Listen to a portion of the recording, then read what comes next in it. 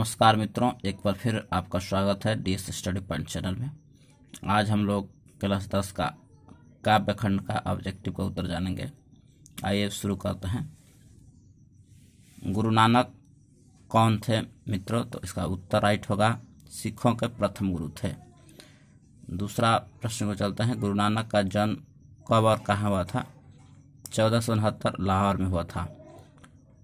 Next प्रश्न को चलते हैं। गुरु नानक पिता का नाम क्या था?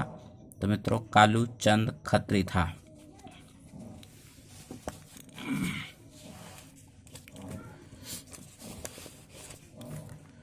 गुरु नानक ने किस धर्म का परिवर्तन किया था?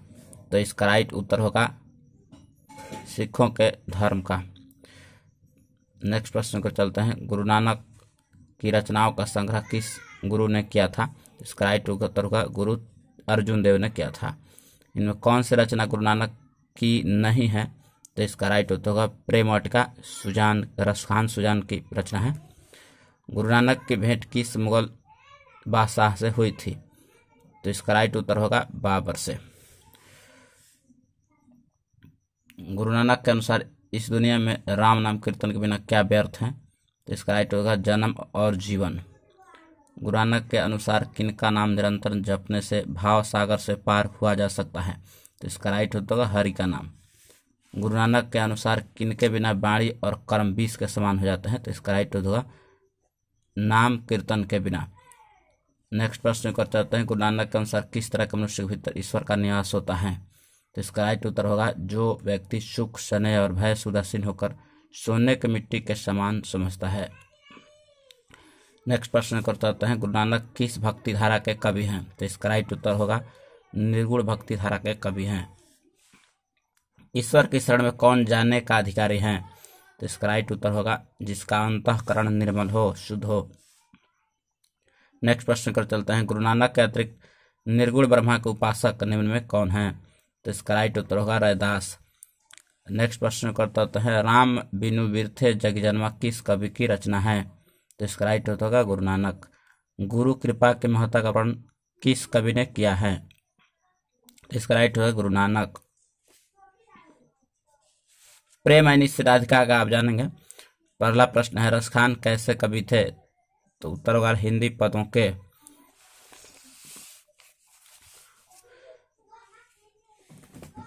रसखान दिल्ली के किस राजवंश में उत्पन्न हुए थे? तो इसका राइट उत्तर होगा, पठान वंश में। कौन में कौन से पुस्तक रसखान द्वारा रचित हैं? तो इसका राइट उत्तर होगा प्रेम वाटिका रसखान किन के भक्त थे? तो इसका राइट उत्तर होगा कृष्ण के। रसखान किस मुगल बादशाह के समकालीन थे? तो इसका राइट उत्तर होगा जहांगीर के। नेक्स्ट प्रश्न पर चलते हैं। किस ग्रंथ से पता चलता है कि गोस्वामी विठल दास ने रसखान को पुष्टि मार्ग में दीक्षित किया था? तो इसका राइट होगा दो सौ बावन भैंसों की वार्ता। रसखान ने किन्हें प्रेम रूपी वाटिका का माली मालिन बताया है। तो इसका राइट उत्तर होगा राधा और कृष्ण को। प्रेम वन रसखान ने किसे कहा है? प्रेम वरण रसखान ने किसे कहा है? तो इसका राइट होगा राधा और कृष्ण को। नेक्स्ट प्रश्न करता है, कोटिक हो कौलधावत कैधाम का अर्थ क्या है? इसका राइट उत्तर है करोड़ों। नेक्स्ट प्रश्न करते हैं रसखान किस पर सैकड़ों इंद्रलोक को नछावर करने की बात करते हैं? तो इसका राइट उत्तर होगा करील के कुंजों पर। नेक्स्ट प्रश्न कर चलते हैं। कवि रसखान किस भाषा के कवि हैं? तो इसका राइट उत्तर होगा वज्र भाषा के, ब्रज भाषा के कवि हैं। नेक्स्ट प्रश्न का चलता है। रसखान दिल्ली के बाद कहाँ चले गए थे? तो इसका राइट उत्तर होगा वज्रभूमि में, ब्रजभूमि में चले गए थे। रसखान किस काल के कवि थे? तो इसका राइट उत्तर होगा रीति काल के। रसखान की भक्ति कैसी थी? तो इसका राइट उत्तर होगा सगुण रसखान ने प्रेम यानी श्री किसे कहा है? तो इसका राइट उत्तर होगा राधा को। रसखान के चित्तचोर कौन है? तो इसका राइट उत्तर होगा श्री कृष्ण रसखान ब्रज के वन बागों पर क्या नछावर करने को तैयार हैं? तो इसका राइट उत्तर होगा सैकड़ों इंद्रलोक।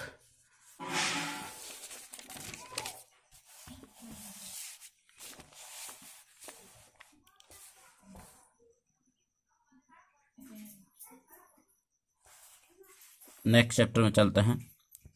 अति सुधो स्नेह को मार्ग है, शीर्षक समया किसकी रचना है? तो इसका राइट उत्तर होगा घनानंद। घनानंद किस काल के कवि थे?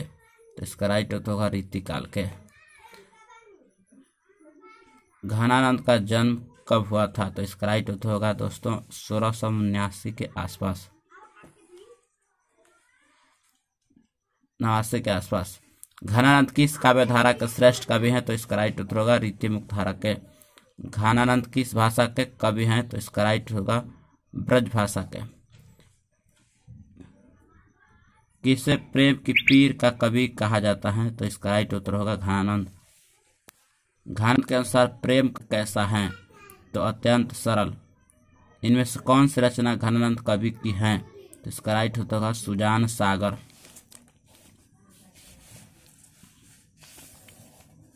कवि घानंद सुजान के आँगन में बरसने की प्रार्थना किससे करते हैं? तो इसका राइट उत्तर होगा मेघ।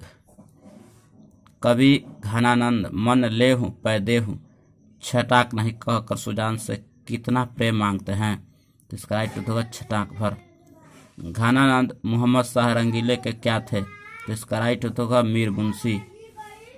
नादिर शाह के सैनिकों ने किसे मार डाला था? तो इसका राइट उत्तर होगा घनानंद को। घाना ने अपनी समैया में सुजान कहकर किसे संबोधित किया है?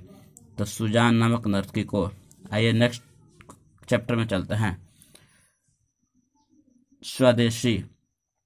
पहला प्रश्न है इसका। स्वदेशी शीर्षक कविता के कवि कौन है? तो इसका राइट का क बद्री नारायण चौधरी, जिसका शॉर्टकट है प्रेमघन कहा जाता है। नेक्स्ट प्रश्न बद्री नारायण चौधरी प्रेमघन के किस युग के कवि हैं? तो इसका राइट होगा भारत तेंदु युग के। प्रेम घन का जन्म कब हुआ था? तो इसका दोस्तों राइट उत्तर होगा अठारह सौ पचपन में।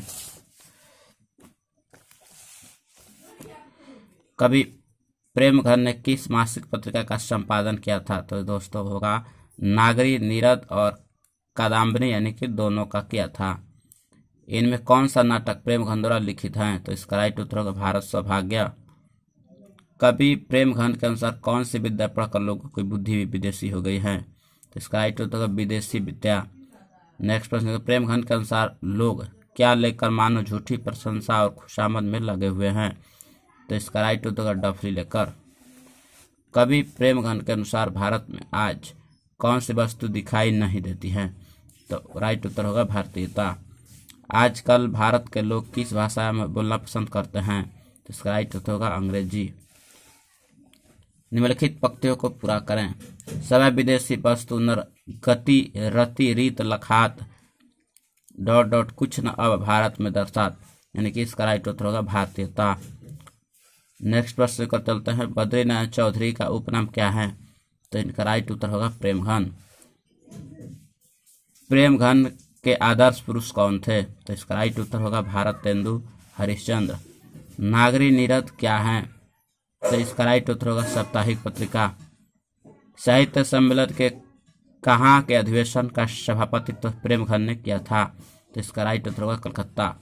भारत सौभाग्य प्रेम घन की कैसी रचना है? तो इसका राइट उत्तर होगा नाटक। आइए नेक्स्ट चैप्टर को चलते हैं, जिसका नाम है भारत माता। भारत माता किस कवि की रचना है? तो इसका राइट उत्तर होगा सुमित्रा पंत।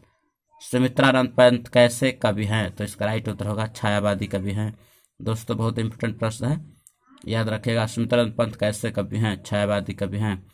भारत माता का आंचल कैसा है? तो भारत माता का आंचल धूल भरा है। नेक्स्ट क्वेश्चन के चलते हैं। पंत जी का मूल नाम क्या था? दोस्तों तो इसका राइट उत्तर होगा, गोसाई पंत। पंत जी मुख्यतः मूलतः कवि हैं। तो इसका सौंदर्य और प्रकृति दोनों के जो हैं कवि हैं। भारत माता कविता में कैसी शब्दावली का प्रयोग किया गया है? तो इसका राइट होगा तत्सम। भारत माता शीर्षक कविता के कवि कौन है? तो इसका राइट होगा सुमित्रानंद पंत। सुमित्रानंद पंत का जन्म कब हुआ था? तो इसका राइट उत्तर होगा उन्नीस सौ ईस्वी में। सुमित्रानंद पंत किस युग के कवि हैं? तो इसका राइट उत्तर होगा छह युग के।